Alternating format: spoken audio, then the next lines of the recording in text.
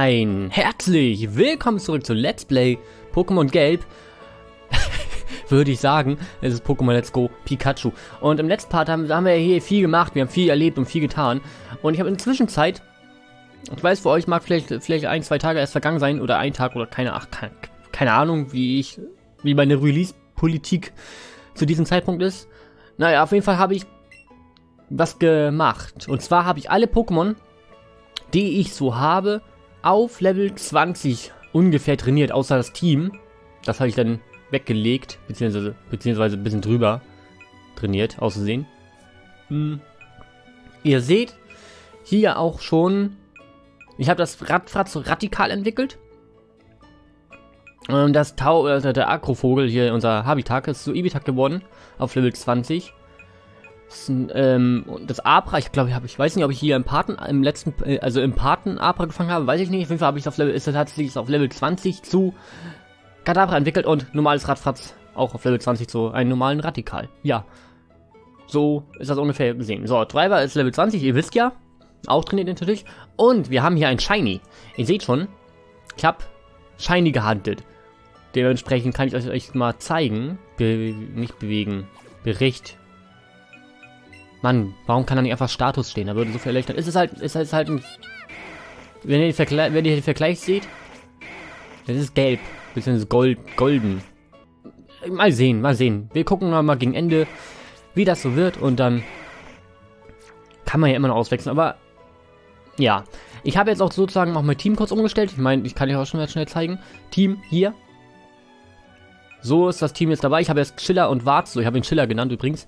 Ich habe die beiden jetzt nur im Team, ähm, damit ich sie halt mittrainiere, damit sie halt auch ententwickelt sind, um es mal kurz und knapp zu sagen. Und ja, also bis jetzt sind vier, vier Pokémon dann fest. Strunky, Train, Cornel und äh, gute Driver. Eigentlich recht gut, recht gut. So, was machen wir in diesem Part? Wir gehen in diesem Part zur MSN, beziehungsweise auf der MSN. Wir haben ja, wir haben halt ein Dingens, und ja. Die MSN ist ein berühmtes und sehr luxuriöses Kreuzfahrtschiff. Sie macht jedes Jahr genau einmal im Hafen von Orana City halt. Sehr schön und gut, jedes Jahr einmal. Hm. Willkommen auf der MSN. Warte mal, hast du überhaupt ein Ticket? Ja, natürlich. Du zeigst mir Rosen dein Bootsticket. Vielen Dank, willkommen an Bord. Oh, herzlichen Glückwunsch. Du bist der hundertste Passagier. Oh, was für ein Zufall. Der heute an Bord geht. Dafür bekommst du dieses Souvenir. Mit diesem Fashion Outfit kann man die frische Meeresbrise gleich viel besser spüren. Ein Matrosenset. Nice. Das ziehen wir da auch gleich direkt an. Übrigens einmal im Jahr, als ich damals, war das hier? Nee, ähm, war ein Beutel.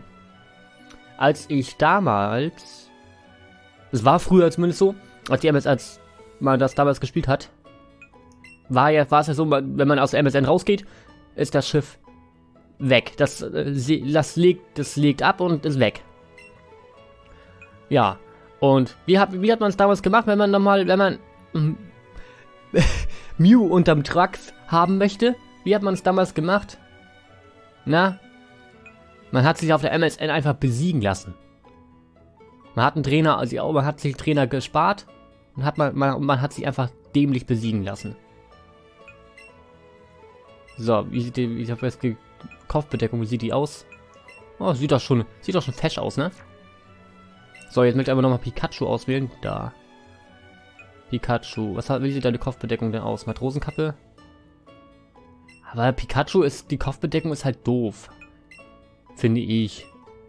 Wirklich, also, ich weiß auch nicht, keine Ahnung. Hier, das sieht doch, das ist besser. Partnerlook. Und, ja, sieht doch, sieht doch sehr, sieht doch sehr schick aus. Gut. Dann gehen wir auch aufs Surf rauf. Nach 5 Minuten Aufnahme, circa. Knapp. Oh, man sieht gar nicht mehr den Truck da rechts. Wo, als sie rausgesucht Oh mein Gott, die Bilder, wie geil. Kann man die angucken irgendwie? Nee. Miku, da bist du ja endlich. Hey, hi Klaus, was geht? Danke nochmal fürs Ticket. Dieses Schiff ist echt gigantisch. Es schwimmt so von Trainern. Sieh an, da ist ja Miku. Ach, und Klaus auch. Wo man sie überall auf über den Weg läuft. Ich finde ja so geil, dass er sein Theme, also sein, sein OST, sein Soundtrack von früher noch hat. Nur ein bisschen neu aufgelegt. Hallo Blau. Machst du eine Kreuzfahrt? Nee, ich wurde zu einer Party hier auf dem Schiff eingeladen.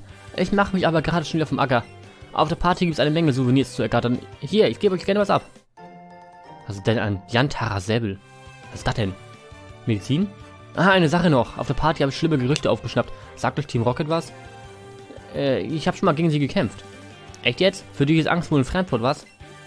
Jedenfalls scheint Team Rocket eine gefährliche Organisation zu sein, die Pokémon ausnutzt, um, um Profit aus ihnen zu schlagen. Und das ist ja wohl echt das Letzte. Ich werde mir diese Loser mal aus der Nähe ansehen. Jetzt seid passt gut auf euch auf, verstanden? Ja, hau rein. Im Original musste man ihn ja besiegen. Was ist denn dieses Yantara-Gedöns? Was ist das? Ein Keks. Dieser Butterkeks ist eine Spezialität aus der Kalos-Region. Ah. Ich habe doch, hab ich, ich hab doch die Region gespielt. Warum sagt mir das nichts? Es behebt alle Staatsprobleme eines Pokémon. Alle. Das ist okay. Das ist, hört sich sehr gut an. Aber gut, danke. Team Rocket, wenn du dich das nächste Mal mit solchen Leuten anlegst, holst, holst mich dazu, hörst du? Hey, ich bin, ich bin ein großer Boy. Ich mach das schon. Gut, wir, wir klappern jetzt alle ab, alle, alle, alle Räume und dann geht's los. Natürlich gucken wir auch in jeden Mülleimer rein, wenn wir dürfen, wenn man uns lässt. Nein, lässt man uns nicht. Hi. Du siehst müde aus. Ruh dir am besten hier kurz aus. Oh, danke. Wir haben hier einen Heilungsraum. Den hatte man damals, glaube ich. Doch, den hatte man mal. Konnte ja schlafen in seinem Raum, ne? Sehr schön. Ihr seht richtig erfrischt aus. Oh, entschuldige. War ich, war dir jetzt so aufdringlich? Ich habe mir bloß Sorgen um dich gemacht, weil du dich an meinen kleinen Bruder erinnerst. Liegt bestimmt am Outfit. Liegt bestimmt am Outfit. So, nächster Raum. Was ist hier los? Hi. Hä? Wer bist du denn? Hier einfach ohne ein Wort reinzulassen. So ein unhöfliches Kind. Es tut mir leid, aber... Die Tür war auf. Ich habe ihn angelogen. Robert. Robert! Ein Vulcano. Also natürlich Strunky, natürlich die idealste Wahl. Welches Level hat dieses Vulcano? Es ist Level 18. Ja, dann wechseln wir auch gleich direkt durch. Das hat ja keinen Sinn, ne? Kann Drain Wasserattacke? Ne, der kann das noch nicht. Der kann, ist halt, der ist halt, der hat noch, noch nichts drauf. Ne, den wechseln wir einfach kurz mal zu unserem Schiller rüber. Und setzen dann mal eine Wasserattacke ein. Ja. ja wer hätte es gedacht? Ich weiß. Glut. Naja. Ist nicht so effektiv, war. Ähm. Ich finde es halt geil, dass wir zum Kämpfen extra auf den Flur gehen. Damit wir die Zimmer halt nicht schmutzig machen, ne? Oder hat es überlebt? Ja, aber er sollte bald, bald down gehen. Ich habe mir übrigens Strunki ganz nach vorne getan, weil es hier ja ähm, Schiff ist und viele Matrosen hier unterwegs sind. Deswegen habe ich gehofft, dass ich hier noch mal Erfahrung kriege. Aber als ich das letzte Mal so die Hoffnung hatte, im Tunnel hatten die Leute auch nicht viele Steins-Pokémon, Gesteins-Pokémon. Das, naja, gut. Hm, du hast wirklich keine Manieren. Ey, oh, 2000 kriege ich dafür, dass ich dich fertig mache. Das ist echt eine Menge. Ist das Schiff wie früher aufgebaut? Wenn ja, dann ist es halt auch, ist es halt cool. Aber ich glaube, ist irgendwie andersrum aufgebaut, ne? An, in, an, wir gucken halt in die andere Richtung. Oh Gott, was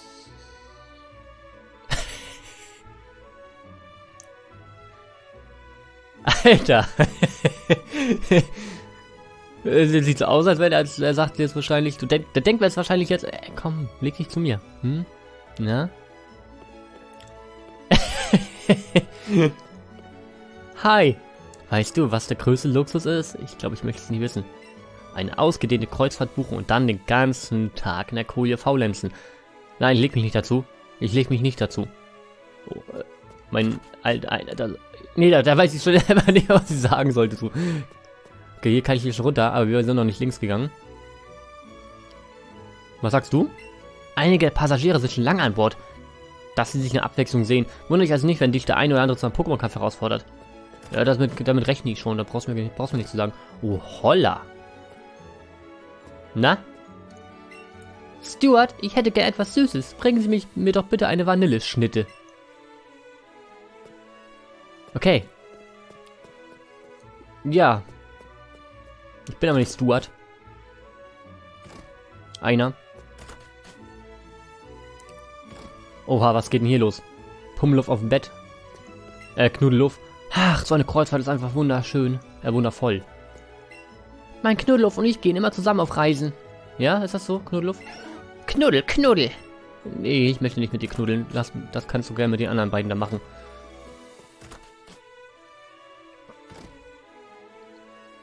Ja, ja, ja, ich sehe schon. Na, komm her. Meine Pokémon stammen aus, all, aus aller Welt. Du, du musst sie dir mal ansehen. Lass mich raten, sind alles Pokémon aus der Kanto-Region? Schöner Alexis. Fordert dich heraus. Ein Tau... Oh, ja, okay. Ein Taubsi. Okay, Strunky. Jetzt zeig Pokémon. Ich glaube, du bist nicht im Vorteil hier, ne? Aber egal, wir schläfern uns einmal ein, dann ist gut.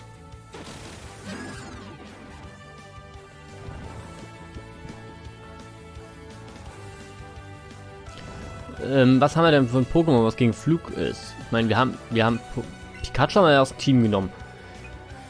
Aber komm, wir setzen mal Cornel ein. Wenn wir mit seinen Psycho-Angriffen.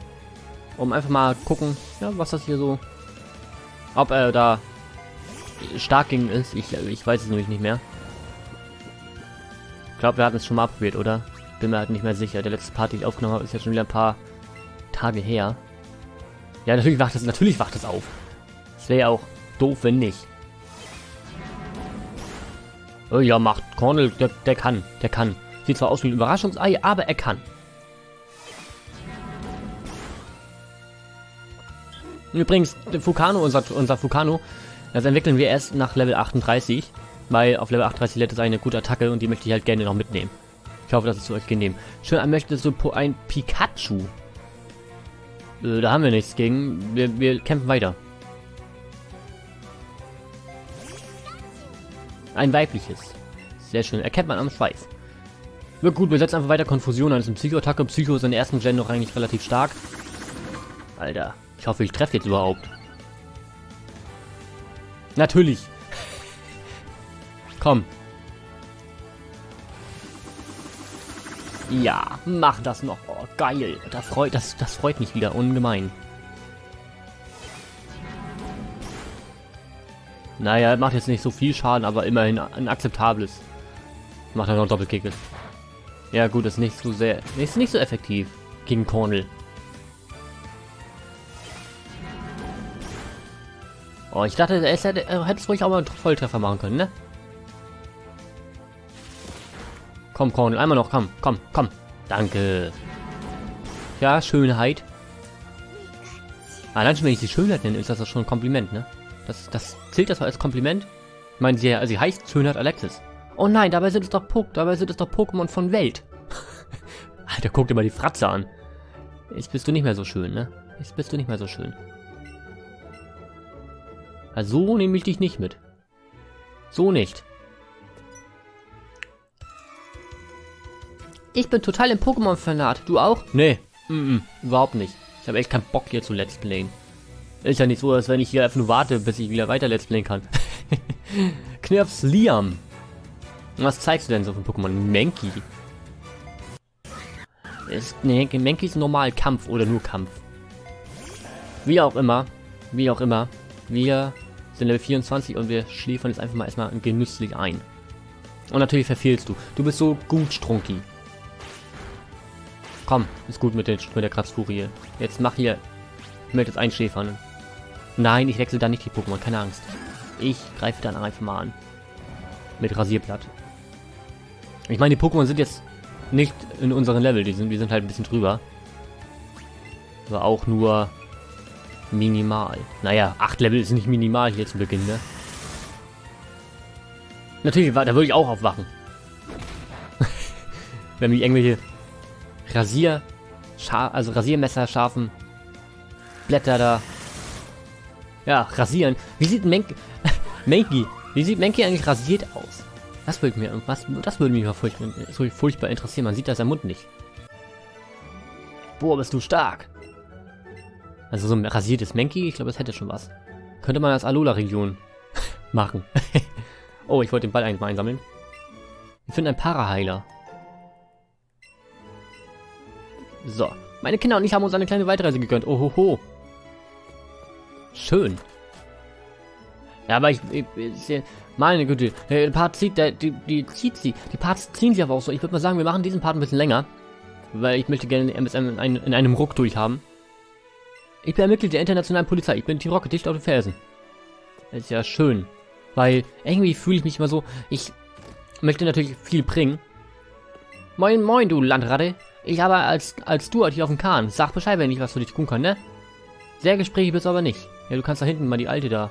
Die kannst du mal was geben. Die möchte, die möchte was von dir. Vom Stuart. Oh. Pokémon-Futter. Oh, hier liegt das einfach so rum. Eine Sprühdose Super, Super Schutz. Hey, aus dem Weg, du Leichtmatrose. Warum? Eine Klosche bewirkt, dass die angerichtete Mahlzeit länger warm bleibt. Kloschen, das sind diese silbernen Metallhauben, die man über Teller stülpt. Aber das wusstest du bestimmt schon. Ja, ich habe schon mal in der Küche gearbeitet. Tatsächlich. In einem Vier-Sterne-Hotel. Ich bin so beschäftigt, dass ich nicht mehr weiß, wo mir der Kopf steht, aber also, stör mich bitte nicht. Als Koch, wohlgemerkt, ne? A la carte und so. Naja, ich bin hier der Chef der, der Chef der Cousine. Der heutige Hauptgang ist Bodycheck Steak. Die Gäste werden es lieben, wenn du ihnen da gleich, gleich mit dem Steak, mit dem Bodycheck da gibst. Schnief, schnief. Ich schäle hier Tag aus, Tag, Tag, äh, Tag ein, Tag aus Zwiebeln. Schnief. Sollst ja auch nicht inhalieren, du Depp. Kennst du Relaxo, seines Zeichens Feinschmecker-Pokémon? Es gibt kein anderes Pokémon, das so viel frisst und schläft. Okay. Schnipp, schnipp. Ich schäle hier Tag aus, Tag ein Kartoffeln. Schnipp, schnipp. Kartoffeln, ich hab's gehasst. Aber was muss man ja machen? Wobei wir meistens zum größten Teil geschälte Kartoffeln im Beutel bestellt haben, ne? Aber so ist das nun mal. In einer nicht Kantine, in einer Dingens. Man muss halt überall sparen, wo man kann. Überall. So ist das Leben. Oha, Maschok. Mein Partner Pokémon Maschok ist super stark. Er kann sogar ultraschwere Felsen mit nichts, mir nichts, dir nichts verschieben. Dann sei froh, dass er seinen Gürtel ablegt, Alter. Weil dann könnte er sogar die hochheben.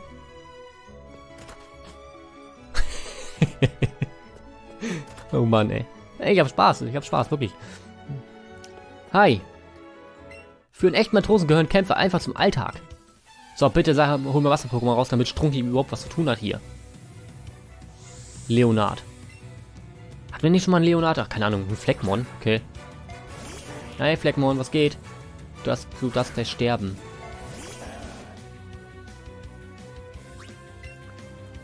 So, Rasierblatt. Hier wird rasiert. Wobei ein Fleckmon ist ja schon rasiert, ne? Nein! Das stark gegen Pflanzegift? Ja. Oh ja. Wahrscheinlich gegen Pflanze, ne? Oder gegen Gift wahrscheinlich sehr stark. Wir werden ihn später mal austesten. Wir haben ja unseren Cornel dabei. Gegen was er gut ist. Ihr könnt auch alternativ könnt ihr auch in die Kommentare schreiben. Ich weiß es halt nicht. So, ja, so gefällt mir das. Was für ein Kampf. Ja, ich habe mich mega angestrengt. Mega. Aber man, man kriegt ja wenigstens gratis Erfahrungspunkte, also ist das schon mal sehr nice. Oha. Ein Elektriker. Ah. Ähm, nicht hier. Oh Mann. Komm, wir tun mal Wart. So, was kann er, was kann er für Attacken? Er kann. Ach komm. Weißt du was? Wir nehmen hier einfach jetzt mal die Hyperheiler. Und dann machen wir, Typen, machen Typen fertig. Du scheinst ein ziemlich lebhaftes Kind zu sein, das gefällt mir.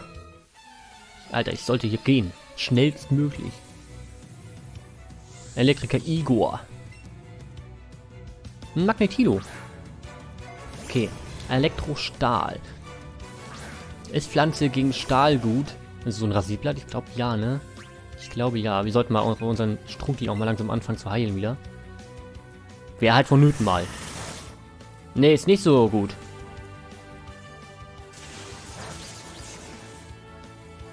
Und noch ein Volltreffer, da hast du, du gut gemacht, Magnetilo.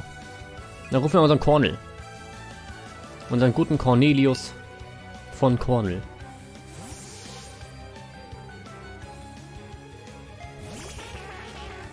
Immer für eine Überraschung gut.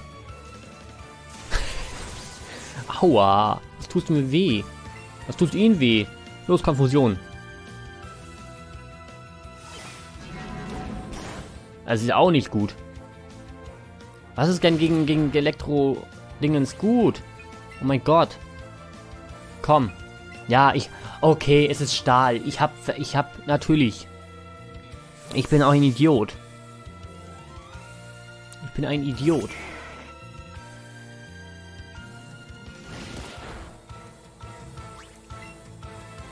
So, Flammwurf.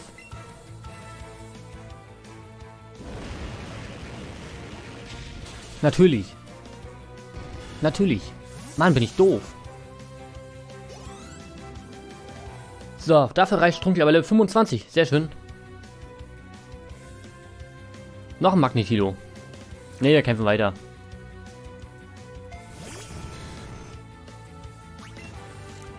So, Flammenwurf.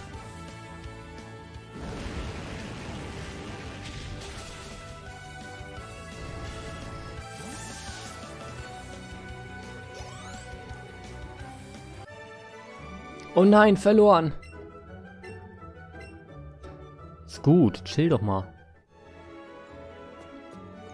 Was haben wir denn hier? Ein Elixier haben wir hier. Apropos mal, wir sollten mal kurz mal einmal kurz rüber heilen. Ich weiß, wir haben die Dingens, die Items und so. Ah, äh, die, die, den Heilungsraum, aber... Irgendwie fühle ich mich immer so... Weiß ich nicht. So doof, wenn ich extra zurücklaufen muss für. Mal, ich sag mal eben schnell hier. Mein kostet ja auch nicht viel, so eine Tränke. Und die meisten habe ich ja noch Geschenke gekriegt.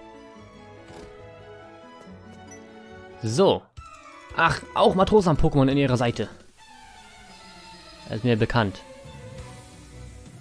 Mein lieber Heinz. Ein Anton also. Guten Tag, Anton.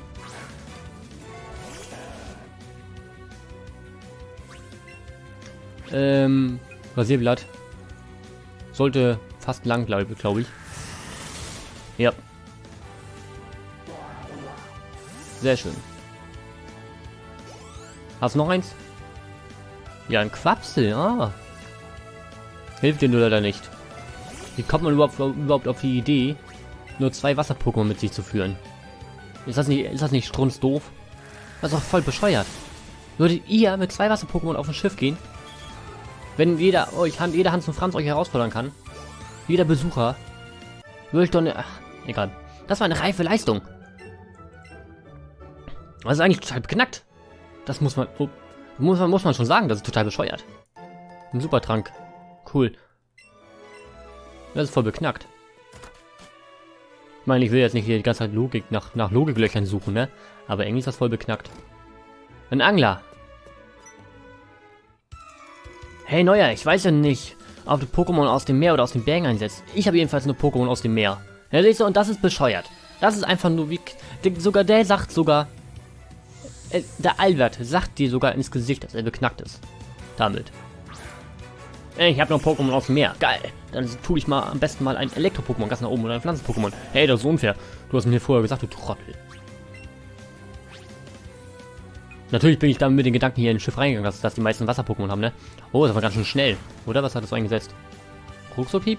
Ja, dann, dann ist es ja klar, dass es der Erstschlag bekommt. Die Augen sahen ein bisschen aus wie die Pokebälle von Goldini, ne? Da hat der Albert ihn sein Goldini geschminkt. So ein Sepa. Okay. Das ist auch reines Wasser-Pokémon, oder? Oder gehört es schon zu Typ Drache? Da bin ich mir echt nicht sicher. Gucken mal. Ne, ist noch ein reines Wasser-Pokémon. Ersitra King wird, glaube ich, ein Drache, ne? Ich weiß es nicht. So, Alberto. Mist, der ist mir entwischt. Was? Wie ist entwischt? Ich, ich will's, wollte mich fangen. Oder wie? Oder was? Oder wo? Ähm, hier ist Ende. Gut, dann schnell zurück und den anderen Weg lang. Hier links, ne? Oder?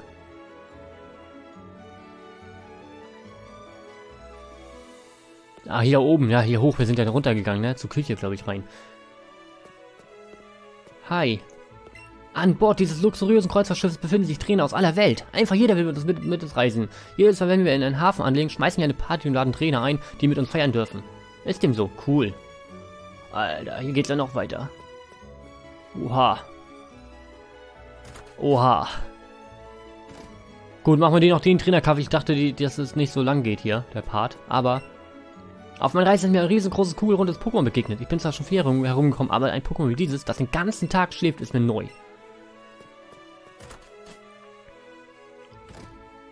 Einen Trainerkampf machen wir noch. Drück, den drücke ich noch rein. Und das ist ein Angler. Schau dir an, was ich an Land gezogen habe. Dann Zeig mal her, was du da geangelt hast. Bin ich mega gespannt. Egon.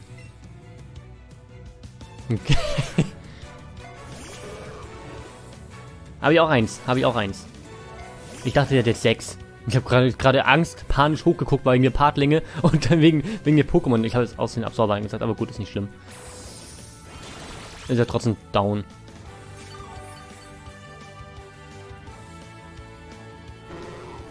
Sehr schön. Angler Egon. Das war's für mich.